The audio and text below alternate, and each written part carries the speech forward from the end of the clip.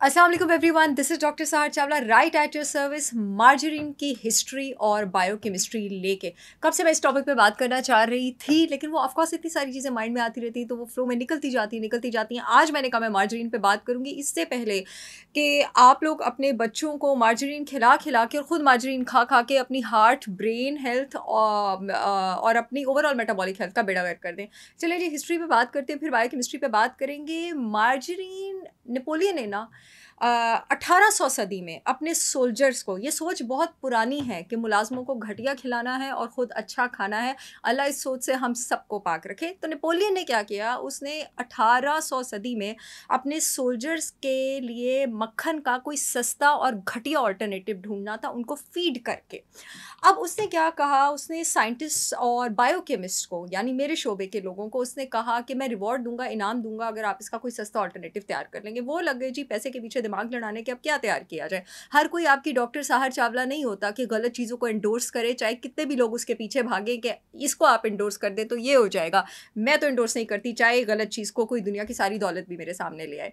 अब उन्होंने क्या किया? उन्होंने बड़ा दिमाग लगा के ये सोचा कि अगर आप, मैं ऑल्टरनेटिव ढूंढ दिया लेकिन सोचा कि अगर आप बीफ या काओ के गोश्त को अच्छे प्रेशर में रखें तो उसमें से तेल निकलेगा जिसकी अगर आप चर्निंग और मिक्सिंग करें स्किम्ड मिल्क के साथ तो एक पर्ल ग्रे कलर का मैटर तैयार होगा मक्खन जैसा और ये आ, उसका नाम जो है वो मार्जिन रखा गया मगर वो एक्सपेंसिव पड़ रहा था। बिकॉज़ काउस की ब्रीडिंग जो थी वो एक्सपेंसिव थी फिर गोश्त भी एक्सपेंसिव था फिर बायोकेमिस्ट को दोबारा दिमाग लगाने के लिए कहा गया कि नहीं कोई मज़ीद घटिया ऑल्टरनेटिव सोचो तो वो पहुँच गए बिल्कुल फ़ूड चेन के बॉटम पे। फ़ूड चेन के बॉटम पे वो कहाँ पहुँच गए? वो कॉटन सीड पे पहुँच गए जो कि इंडस्ट्रीज़ में और इंडस्ट्रीज़ की वजह से ज़मीन पर बिखरे रहते हैं और बिखरे ही बिखरे रहते हैं उन्हें स्टोर भी नहीं किया जाता बिकॉज़ वो बहुत जल्दी हवा को रिएक्ट करते हैं और ख़राब हो जाते हैं। अब इस चीज़ ने ना एक आइडिया दे दिया बायोकेमिस्ट को।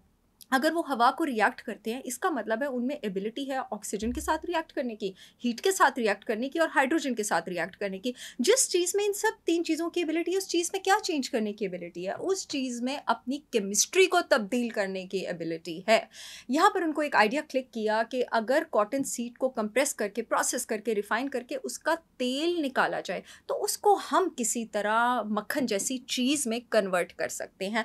अब उस तेल को जब उन्होंने निकाला तो उसको मक्खन और इसको उन्होंने एक ऐसी इस इंडस्ट्रियल वेस्ट इस टॉक्सिक प्रोडक्ट को उन्होंने एक ऐसे गोल्ड माइन में कन्वर्ट कर दिया है, जिससे आज तक इंडस्ट्रियलिस्ट फार्मर्स और जो बायोकेमिस्ट और साइंटिस्ट जो हैं, जो बिक गए थे, वो उससे फ़ायदा उठा रहे हैं। अब उसको मक्खन जैसी चीज़ में कन्वर्ट करने के दो रास्ते थे।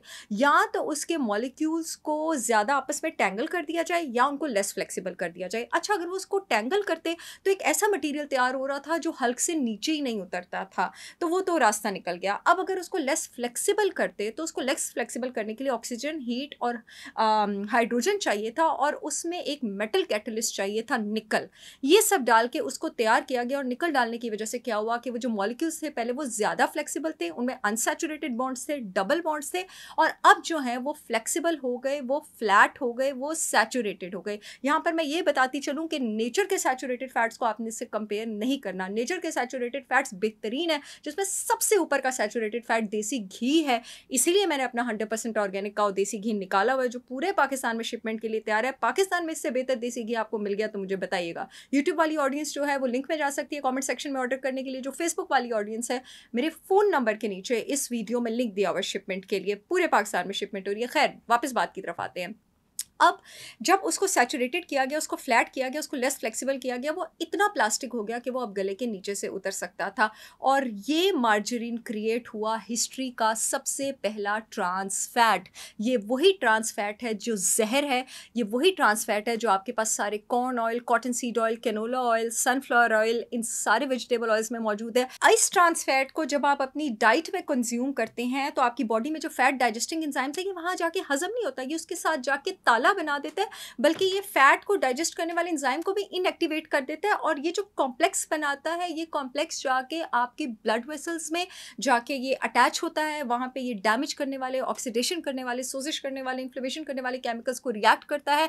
यहाँ से आपके पास स्ट्रोक्स की शुरुआत होती है कॉर्नरी हार्ट ब्लॉकेजेस की शुरुआत होती है, दिमाग के स्ट्रोक्स की शुरुआत होती है, यहाँ से दिमाग के नर्व्स का डैमेज स्टार्ट होता है, यहाँ से एल्जाइमर स्टार्ट होता है और इसीलिए मैं हमेशा कहती हूँ कि you can not out burn a bad fat आप वर्जिश करने से गंदे फैट को बर्न नहीं कर सकते। आप जब रन आप जब कहते हैं ना, मैंने आइसक्रीम खा ली, मैंने बिस्किट खा लिया, मैंने ये खा लिया, मैं रनिंग करूँगा कैलरी उड़ जाएगी। आपको पता है वो आपकी कैलरीज तो बर्न होती हैं और आपका कौन सा फैट बर्न होता है? जो आपने हेल्दी खाने से खाया होता है। कभी भी आपकी बॉडी में एबिलिटी नहीं है इंजाइम ही नहीं है ट्रांस फैट को बर्न करने का तो आप कितना जिम करेंगे उसको बर्न करने के लिए? वो बर्न हो ही नहीं सकता, वो सिर्फ़ आपके जिसम में जाके आर्टीज और क्लॉक्स में जमा हो सकता है। और जो पहला ट्रांस फैट दुनिया में क्रिएट हुआ था, वो मार्जरीन हुआ था। मुझे उम्मीद है ये वीडियो सुनने के बाद अब बाज़ार से जाके कोई मार्जरीन नहीं खरीदेगा।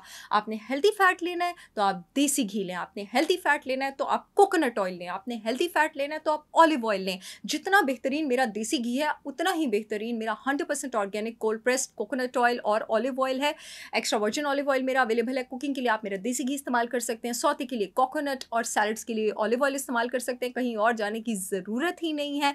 मेरी गारंटी है, पाकिस्तान में इससे बेटर क्वालिटी आपको कहीं नहीं मिलेगी। जो लोग इस्तेमाल कर रहे हैं, कर चुके हैं, पूरे पाकिस्तान में माशाल्लाह इस वक्त इस्तेमाल हो रहा है, वो इस बात की गवाही ज़रूर देंगे। इसके अलावा कुकिंग के लिए तो नहीं, लेकिन टेस्ट के लिए जो आप एक बहुत बेहतरीन गुड फैट इस्तेमाल कर सकते हैं, या हल्का फुल्का सौते के लिए वो मक्खन है।